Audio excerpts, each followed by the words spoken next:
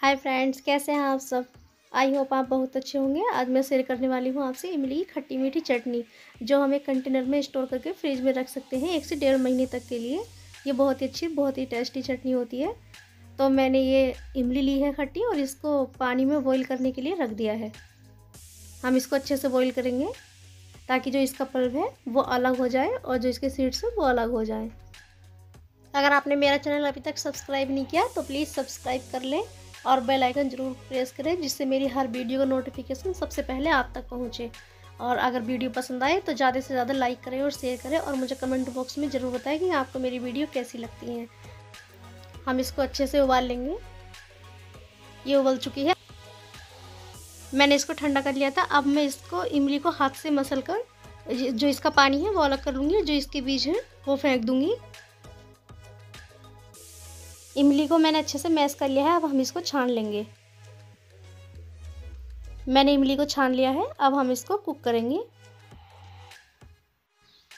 आप चाहे तो इसे दही बड़ों के साथ भी यूज़ करें।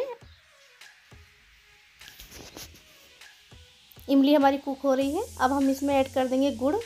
गुड़ आप अपने अकॉर्डिंग ऐड करें, क्योंकि हमें खट्टी मीठी चटनी चाहिए। तो मैं इसमें गुड़ ऐड कर दूँगी। आप गुड़ की जगह चीनी भी ऐड कर सकते हैं। अब हम इसको अच्छे से पकाएँगे। इमली हमारी अच्छे से कुक हो रही है। अब हम इसमें ऐड करेंगे कुछ पाउडर मसाले। ये मैंने कश्मीरी लाल मिर्च ली है, जो ऐड कर दी है। और ये मैंने सूखा हुआ अदरक, जिसको सौंठ बोलते हैं, वो एक स्पून ऐड कर दी है। अभी मैंने इसमें भुना जीरा ऐड कर दिया है। और ये मैंने रेड चिली फ्लेक्स ऐड किया है। ये ऑप्शनल है। अब मैंने इसमें सिंपल सफ़ेद वाला नमक ऐड किया है और ए वन टीस्पून मैंने इसमें काला नमक ऐड कर दिया है।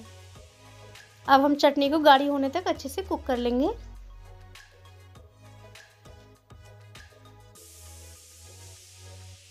आप चटनी को थोड़ा टेस्ट कर लें और थोड़ी ज़्यादा तीखी है तो चीनी या फिर गुड़ और और ऐड कर सकते हैं। अब कलर लाने के लिए मैं इसमें ऑरेंज फ़ूड कलर ऐड करूँगी। बहुत थोड़ा सा ऑरेंज फ़ूड कलर ऐड करना है। अगर आप ज़्यादा ऐड करेंगे तो वो ज़्यादा ऑरेंज हो जाएगा। तो इसलिए बहुत हल्का सा ऐड किया है। देख कितना अच्छा कलर आया चटनी में। अब हम इसको इतना कुक करेंगे कि गाढ़ी हो जाए। ज़्यादा गाढ़ी भी नहीं करनी है, क्योंकि आप गाढ़ी करके उतारेंगे तो फिर ये ठंडा होने पर और ज़्यादा गाढ़ी हो जाएगी। इसलिए थोड़ा पतला ही उतारें इसको। ये मैंने तरबूज के बीज लिए हैं, जो मैंने इमली की चटनी में ऐड कर दी है। चटनी हमारी बन चुकी है। अब हम इसको ठंडा होने के लिए दो से तीन घंटे के लिए रख देंगे, ताकि ये ठंडी होने के बाद थोड़ी गाढ़ी भी हो जाए। अगर आपको मेरी वीडियो पसंद आए तो लाइक और शेयर करें, और अपना फीडबैक मुझे कमेंट बॉक्स में ज़रूर दें, और मेरे चैनल को सब्सक्राइब ज़रूर कर लें। देखिए चटनी ठंडी हो गई है। ये कि, बहुत बढ़िया चटनी बनी है, कलर भी कितना अच्छा आया है। आप इसको स्टोर करके भी रख सकते हैं। कैसी लगी मेरी वीडियो? आप मुझे कमेंट बॉक्स में ज़रूर बताएँ। मिलते हैं नेक्स्ट वीडियो के साथ। बाय।